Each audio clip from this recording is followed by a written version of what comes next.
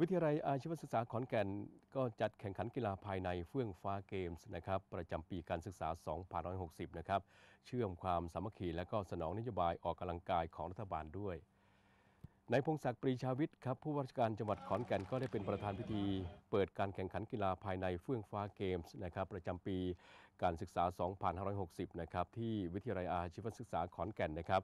ได้จัดเป็นประจำทุกปีโดยมีวัตถุประสงค์ ตรงกับคำที่ว่ากีฬาพัฒนาอาชีวะสู่ยุคไทยแลนด์ 4.0 คือเพื่อให้นักเรียนนักศึกษา เกิดความรักความสามัคคี โดยใช้กีฬานั้นเป็นสื่อนะครับ รู้จักใช้เวลาว่าง ให้เป็นประโยชน์รักษาการออกกำลังกาย รักการออกกำลังกาย เป็นผู้ที่มีน้ำใจ นักกีฬารู้แพ้รู้ชนะรู้อภัย